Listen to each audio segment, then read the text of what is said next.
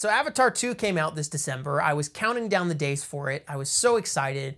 And particularly with this movie, seeing it as many times as possible in theaters kind of felt like a must. We saw it once, and then the next day I was like, I kind of already want to go back and see it again. And so we did. And then like a few days later, I was like, I kind of need to see it again. And so we did. And then I was like, I need to see it again. And so we did. And every time a few days would pass, I would just feel that post-Pandora depression setting in and I'd be like, I have to go back. I'm kind of feeling like I need to see it again tonight, right now. It's like I just need to go bathe in this movie every few days. It's like the only way I can rest. I'm at the point where I have seen Avatar, as you might be able to tell from this shirt, for 24 hours. I have spent 24 hours in the world of Pandora and boy, oh boy, I'm not ashamed of it. I, I liked it. I, I, think it was a good decision. It's interesting how your perception of a movie can change over the course of multiple viewings. I mean, that's not a particularly deep observation. Of course, our perceptions change.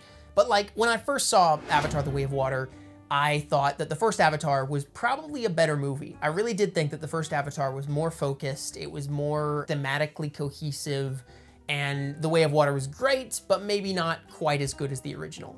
Now, I'm actually on the side that I think Way of Water is much better than the original and maybe one of the greatest blockbusters ever made, question mark? For whatever reason, I still have like plot brain where whenever I'm watching a movie, I'm kind of thinking like, all right, where are we in the story? Or like, what act are we in? I think of things through those terms and I don't love that I do, but the, the first time I saw Way of Water, I was kind of thinking like that and I was lost in terms of where the story was heading or what the pacing was like. And I did feel like it sagged in the middle because I was like, where exactly are we going with this whale stuff? And the second viewing, knowing where it was going, I was just able to kind of sit back and enjoy the ride. And that's how I felt with every subsequent viewing. It's just felt more and more like rest every single time. So I did think I should probably tell you about the theatrical experiences that I've had because I've seen it in pretty much every format possible to see it in. First time I saw the movie, and I'm ashamed to say this, but it was kind of my only option at the time, it was in 2D standard. Now granted, it was standard with a laser projector, so it looked great, but my immediate thought after seeing the movie the first time was, wow, I made a big mistake seeing that in 2D the first time.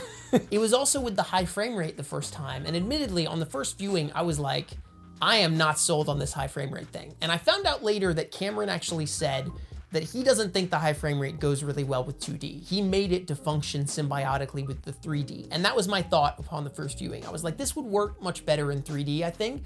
And so the next day, I went back and saw it in 3D with high frame rate, and it did work better, and I really enjoyed it that time. After that, I saw it three times in IMAX 3D. That was without the high frame rate, and so I did get the contrast of like seeing it in 24 FPS versus high FPS, um, and it was nice, like, I don't know, it, it, felt more like a normal movie in some ways, seeing it in 24 FPS, but ultimately, after my many viewings, my actual takeaway is that I much prefer it with the high frame rate. I think it adds something otherworldly to it. So then, after I'd seen it uh, once in 2D, once in 3D, three times in IMAX with just the 24 FPS, I went back and saw it at a different theater, at a different IMAX, with IMAX 3D with a laser projector. And I think that was probably my best viewing of the movie. It was magnificent. The, the crisp laser looked amazing. Seeing it in high frame rate with the laser, with the 3D, with the IMAX was perfection.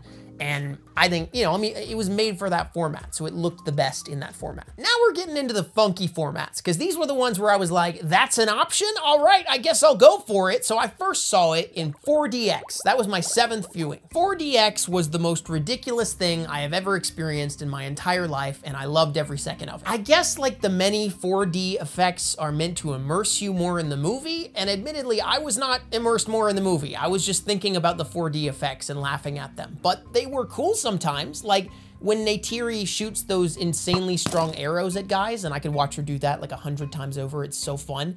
They like jab you in the back when she like shoots the guy with arrows, and you like feel them like whiz past your ear with like an air cannon next to your head. So that's fun. And like when they're shooting machine guns, your whole chair is rocketing. There's that scene where Spider falls off the tree in the first act and they like shake you so hard that I really thought I was gonna die. It did work really well in some sequences though. I mean, I enjoyed being misted with water every time someone went into the water, like that was fun. And when I remember when Payakan jumps out of the water in the third act, like they just drenched you, and that was really fun too.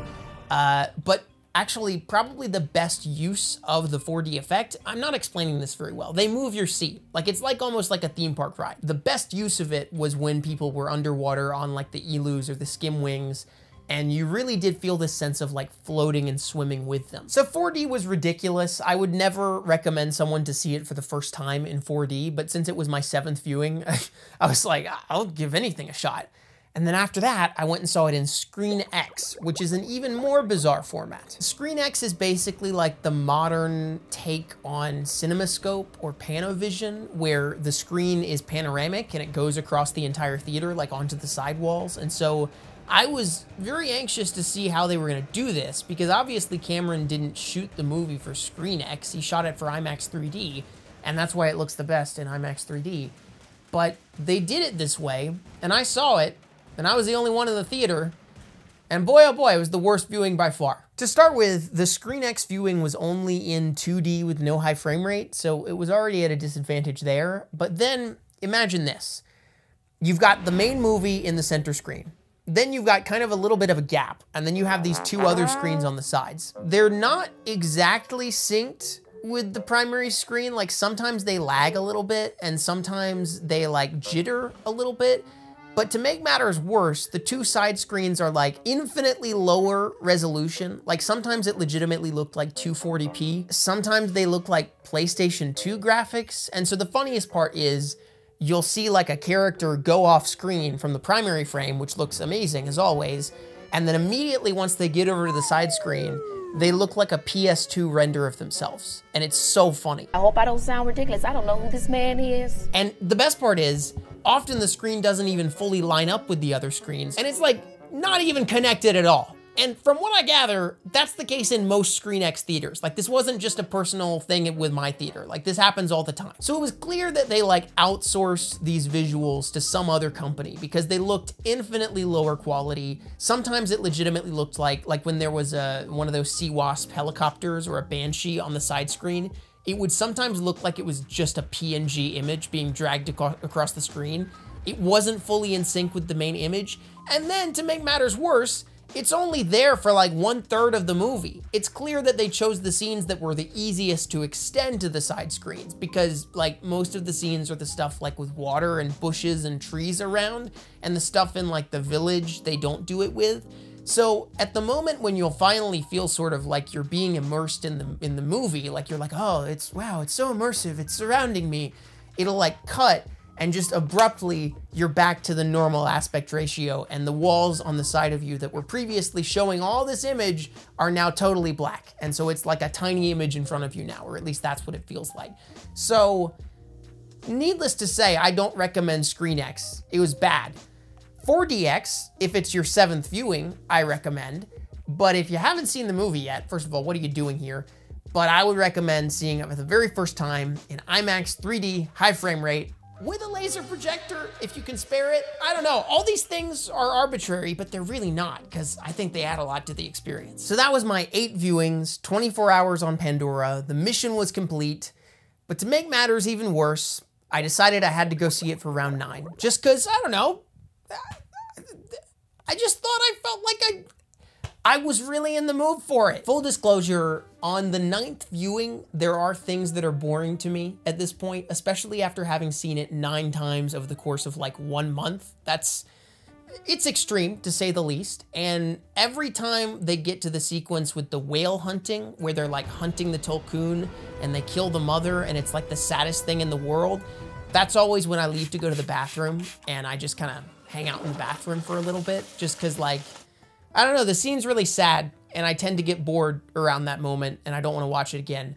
Um, but other than that, I'm like dialed in for most of the movie. Like, I'm almost never bored other than that. There was a pretty prominent criticism of the first Avatar, which now a lot of people have applied to the second Avatar, which is this idea that like, oh, it's only good in theaters, bro. Once you see it at home, you realize how bad it is and you're not nearly as engaged. And that experience you had in the theater was just like the emotions of the moment. And when you get home and see it objectively, it's actually bad. And let me unpack all the ways that's wrong. First of all, you're right. It's not as good at home as it is in theaters. We've established that, and I agree. But here's the thing. That's proof to me that it's a good piece of art that was made for the medium that it's meant to be presented in. I think for whatever reason, like all art is now viewed as content that we should be able to stream whenever we want on whatever device we want, and it should be just as good on my phone while I'm sitting on the toilet as it would be in a movie theater when it first came out. And that's just not the type of movie that James Cameron is interested in making. We've developed like this bizarrely possessive control freak streak in us where we want to be able to box up the art that we just watched and put it on our shelf and pause it whenever we want and fast forward whenever we want and watch it on whatever device we want whenever we want and cut it up and put clips on YouTube and nitpick every single thing and just hold the experience in our hands and do whatever we want with it. But the thing is, Cameron is working with things that are so much more transcendent than that. And I think he has no interest in giving us that power. I want to have a direct relationship with this bigger thing, right? What those people are doing for me is creating a scenario in which I have no control. I can't just pick up the remote and stop it because of my social contract with everybody else there. And it's it's making the decision to have an experience over which you have no control, knowing that it will flood into you with greater impact. Many people would see the fact that Avatar cannot be re-experienced the same way at home as a flaw, but to me, that's why I've been to see it nine times in the theater, because it's this temporary experience that I know I'm gonna miss when it's gone. And there's something sacred about that. There's something sacred about sitting in a theater and going like, this isn't gonna be here forever and I wanna soak in this moment because I know that even when I watch it at home, it won't be exactly the same. I often compare James Cameron's movies to kind of like Broadway shows where it's like, yes, you can watch the cast recording of a Broadway show at home. You can listen to the cast recording. You can watch a recording that PBS did and aired on TV, but it's never going to be the same thing as seeing the show live. And no one faults theater productions for that. Like we don't say, "Oh, the theater that that stage play was actually bad because it's not as good in the PBS TV recording as it was in person live." Like no, like we accept that the experience has this sort of transcendence to it when you see it live that will never be replicated again and that only happens in that moment. And Cameron's movies aren't exactly like that because yes, they've been recorded and they're replayed in theaters over and over again, but it is like there's something transient about it and there's something sacred about knowing that seeing it in IMAX 3D in that moment, I'm gonna tell my kids about that. It's special, it's temporal, it's fleeting, and it's made for the medium of theaters, not for content that will just populate another streaming service and give it reasons for people to subscribe. I gotta say, James Cameron is my hero. I, I think the guy is amazing. I don't know if I would want to work on one of his sets. I don't even know if I would enjoy being his friend, but I think as a figurehead, he is something else and endlessly inspiring to me. As the Na'vi say, well, ngati kameie, I see you. I mean, the idea that he spent 13 years working on a sequel that everyone mocked him for making is just like really satisfying, especially when you see that sequel make $2 billion.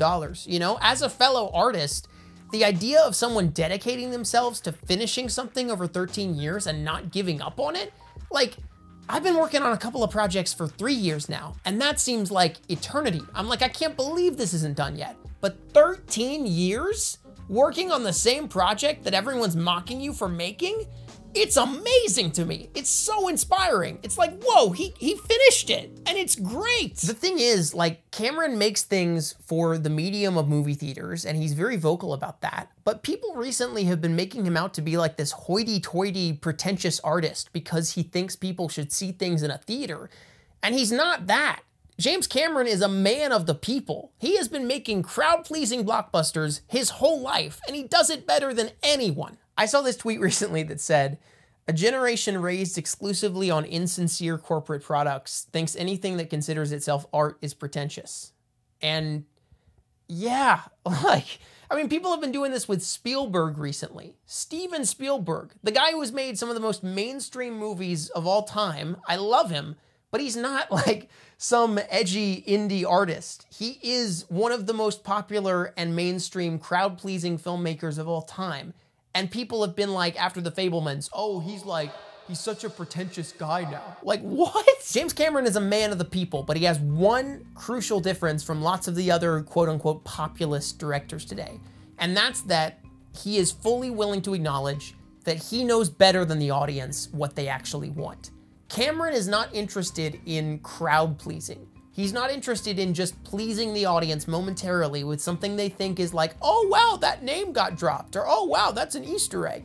He's interested in satisfying the audience on a deep level, and he knows how to do it better than the audience even knows what they want. So many directors today are chasing after the high of the movies that they watched in their childhood and learning all the wrong lessons from the movies from their childhood, imitating the wrong things. Cameron has learned all the right lessons. But what are we going to do? Stop? No. You know, I mean, if I'm a, if I'm a dinosaur, I'm, I'm going to get killed by the comet. I'm not going to just give up. So we've gotten this far into the conversation, and we still haven't even really talked about the movie. Uh, I love it. It's so good. I love Avatar The Way of Water. It's amazing. Speaking of this sort of insincere corporate product concept, I think sincerity has been lacking in a major way from movies in the past few years, especially mainstream blockbusters. And yes, Maybe Marvel epitomizes that the best with all of their self aware humor. You're not the one with the hammer. It's Thor. We get confused a lot. Similar body types. Jane? But it's not just them. It's a lot of different things that have been sort of inserting this sense of self awareness and bathos and mocking yourself and being like, haha, aren't we so dumb? And I've really missed blockbusters that know how to be epic and know how to be sincere and know how to be earnest. And this year was a majorly welcome return to form with that. Top Gun Maverick, RRR, Dune, of course that was the year before, The Batman. It's been wonderful. The thing is, the sheer sincerity of Avatar, the first and the second movie, makes it really easy to dunk on. But it also makes it really friggin' cool and overwhelming and awe-inspiring. The scene where Lo'ak is swimming with Payakan and it's just this beautiful musical score and he's like touching his hand to the top of the waves as they're swimming near the top and it looks, but the shot's upside down, and you're like, whoa, and that's the top of the water. How's he, whoa, it's amazing. And I'm just like sitting there in awe every single time because it's like the most beautiful thing I've ever seen. And there's not a self-aware joke in sight. It's kind of like when Maverick hits Mach 10 at the start of Top Gun Maverick, where it's just like, He's the fastest man alive. this is beautiful and awe-inspiring and amazing. And there's nothing to undercut it. I'm just seeing a human being doing one of the most amazing things a human being has ever done. And I know it's fiction, but it's inspiring the sense of awe in me and like inspiration and bizarre like reverence for like being alive.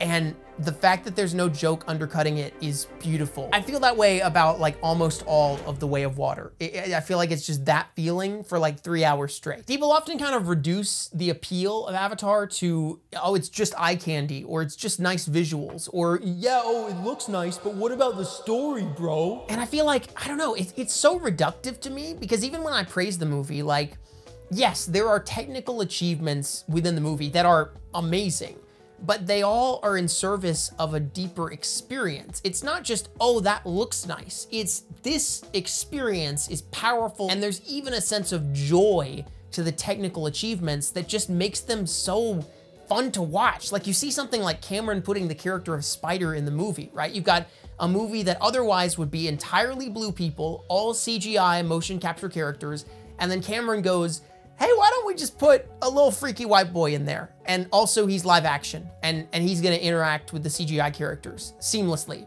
And we're not even gonna explain how we did it. Like, he's just having fun with that. And so much of the movie is that. So many of the technical achievements are that. It's Cameron going, could we do that? Let's try it. Oh, we did it. Okay, yeah, awesome. And you go, whoa, they did it. That's awesome. But it's also like invisible too. Like it's, it's it's joyful and beautiful and awesome, but it's not flexing itself. Like it's not like, oh wow, look, we can do this. Like I've talked to numerous people who don't even understand how amazing it is that Spider, the live action character, is interacting with these motion capture characters because it never calls attention to itself. It's completely invisible, but it's also like one of the most amazing visual effects ever put to screen and it's just never explained or addressed. And the fact that this stuff is experiential is why Cameron is able to just like casually toss out spoilers for the fifth movie. And it doesn't matter because these movies are not built on like, oh, if you spoil the information that's going to be dispensed in the post credits scene, that it's not even worth watching. It's like, no, I could know the entire plot of what's going to happen in Avatar 3 and I would still be probably amazed by the experience because it's just about the experiential magic and wonder of it that can only be experienced in a theater. It's not the type of thing that you can read the Wikipedia summary and understand. When I turned in the script for four, the studio executive wrote me an email that said, Holy f.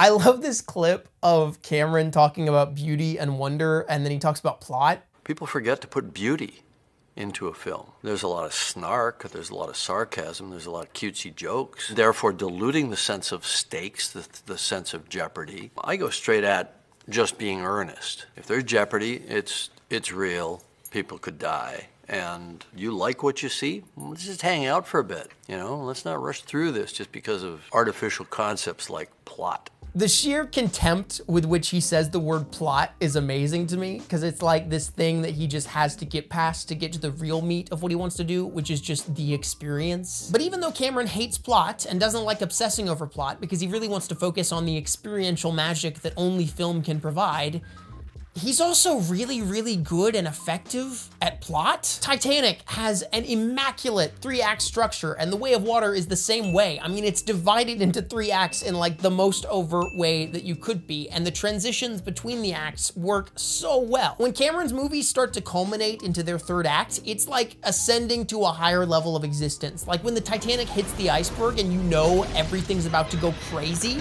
it's just like, I can't contain my excitement in that moment. I'm like, here it comes, the third act. It's gonna be amazing. Or like in The Way of Water, when the kids get captured and the parents are all grabbing the weapons and the Na'vi are going out on the skim wings and getting ready to go to battle. Like, I am dialed in every time. It is, man. I mean, I've seen the movie nine times and sometimes I'm getting bored around that point in the movie and then it gets to that third act turn and I'm just in. It's not even exactly about like setups and payoffs, but there's something that Cameron's able to do where he establishes all of these different components in the first two acts of his movie, just like a bunch of different things.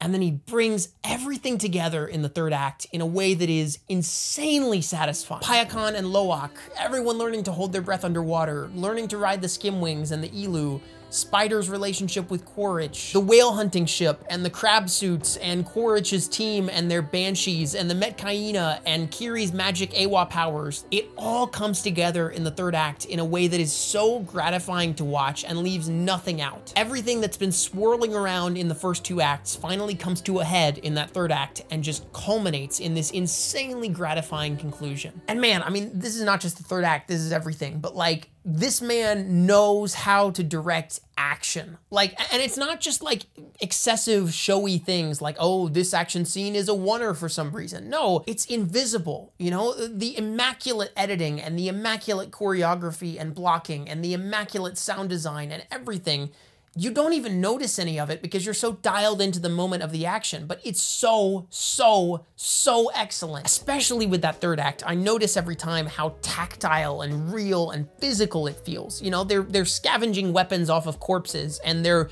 running out of ammo mid-fight, and so then they have to switch to a knife. And Neytiri shoots an arrow through a guy and then picks the guy up by the arrow and shoots the arrow again into another guy. Like, what? Jake has to find a spear in the wreckage and he takes off his vest to strangle Quaritch with the vest, and he dodges out of the way of one of the attacks, and Quaritch gets the knife stuck in the grate of the ship, and then he twists the knife, and the knife falls out of his hand, and then they're underwater, and they're strangling each other, and it's like so good and so raw and better than almost anything in even an R-rated movie. The characters here are so fun to watch. I mean, I dare anyone after The Way of Water to tell me that they don't remember Jake Sully's name or that they don't think that he's an iconic action hero. Even more than in the first movie, I, I think in this one there's a real sense that Cameron just gets so much joy out of working with actors. And if you listen to interviews, he talks about that all the time. Stephen Lang as Quaritch, Sam Worthington as Jake, Sigourney Weaver as Kiri, Zoe Saldana as Neytiri everyone is just having a ball doing this role. Like they're just having the time of their lives. And especially I think Stephen Lang as Quaritch has so much charisma this time around, even more than the first movie. Like I'm all in with him as the overarching villain for the whole series. He's just a joy to watch on screen. Somewhat problematically, uh, James Cameron's self-insert character in the first Avatar was probably Jake Sully, and that's fine, whatever. But I think the thing that makes The Way of Water even better than the original Avatar is that in this one, his self insert character is a 14 year old girl who just really loves water and fish and sand and fish and water and sand. And that's James Cameron, man. And this is the thing that, like, you know, we can talk about the fact that this is still technically a corporate product, right? I mean, it's distributed by Disney, and it's not like this is like the savior of all movies, right? We still need indie stuff, and this is not what should be all of what's in theaters. You know, like uh, there's still plenty of conversations to be had about blockbusters dominating the market and all this kind of stuff. But in terms of what a blockbuster should be and how a blockbuster should use the money that it's given to full effect, I think Avatar is the best example of that. And even more notably, I also think it's a wonderful example of a blockbuster produced by a corporation that still feels like it has the distinct and inseparable DNA of its creator in it. I'm not a huge believer in auteur theory. Like, I believe that most movies are made as the product of a bunch of people's efforts, and Avatar is certainly the same way. But man, these movies make me believe in auteur theory because, like, James Cameron made these. These are James Cameron's movies. You just feel his fingerprints on everything. I just realized I've been reading the word auteur uh, online all this time, and I've never really said it out loud, and I think it's actually pronounced auteur. Auteur. That doesn't sound right to me. Anyway, I believe it. And a big part of it is that you can just feel Cameron's childlike, ecstatic passion radiating through every frame in a contagious way. And obviously, these movies are about a fictional planet, but the fictional planet has so much in common with our real planet that it's able to kind of steal past our inhibitions of what we would take as preachy environmentalism or all this kind of stuff and just give us a story that's really satisfying. And then you walk out of the theater and you go, wait a minute, the coral reefs in our world are just as amazing as the ones on Pandora. Like, why don't we protect them? You know, I left Avatar The Way of Water with an intense desire to go to the aquarium, and I did, and it was beautiful. And I went swimming afterward too, and that was also wonderful. And I was sitting here like, Water's amazing, man. Boats are amazing. I can't believe they float on the water. That's so cool. And fish, they can like breathe underwater, man. It's like so cool. And there's like these giant fish, like whale sharks that I saw at the aquarium.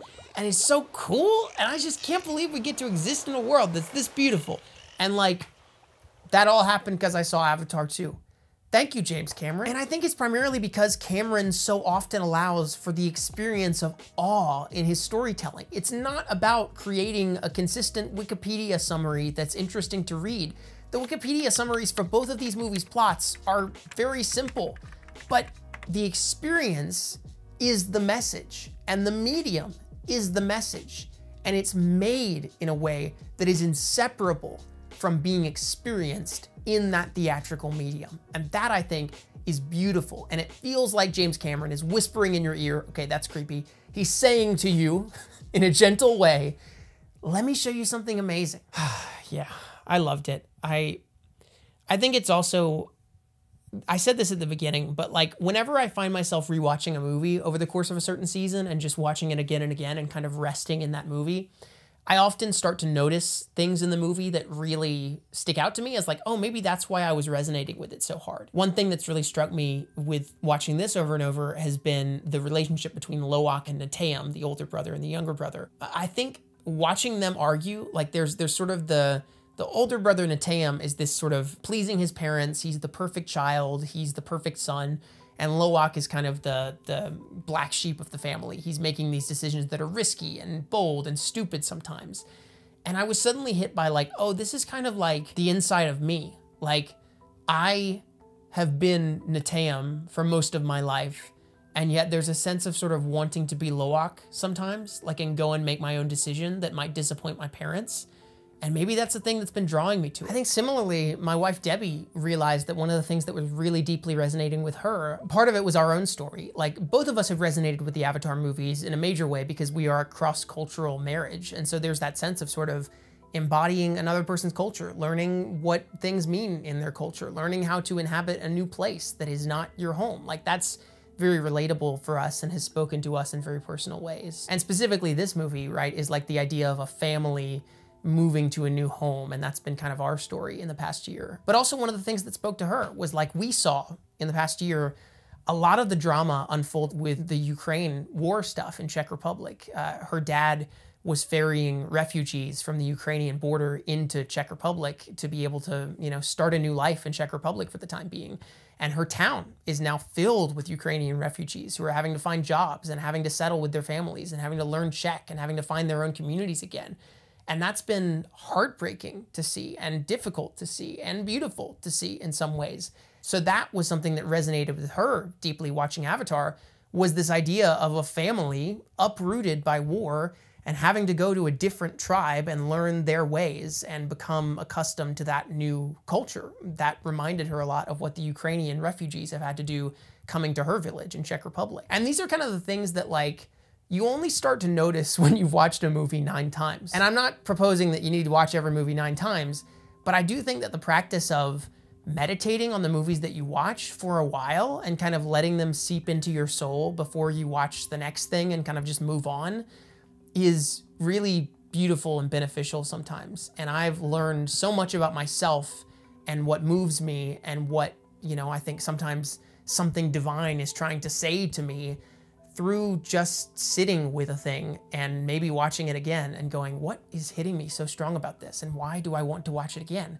And with Avatar, it's been so many things. And I am deeply grateful that it has been out in this time of my life because it's been beautiful. So, yes, I survived 24 hours watching Avatar 2 and I liked it. I, I really did. Thank you for being here for this video. If you'd like to listen to audio reviews of other movies, including Avatar The Way of Water, which I put out like a month ago on Patreon, you can go to the Patreon. That's that's where I do that. And I've been doing it more recently. I that's all I have to say. Please comment your favorite creature from Avatar The Way of Water below. Would you rather ride a Tulkun, an ilu, or a Skimwing? I'm kind of partial to the Skimwings, I think. I mean, they look obviously the most terrifying, but like, they're really cool. I mean, I don't know. I just think it's really cool. I'll be starting a new podcast soon. Um, more details to follow on the Patreon with that. But until then, thanks for watching this video and Onnati me. I hope I said that right.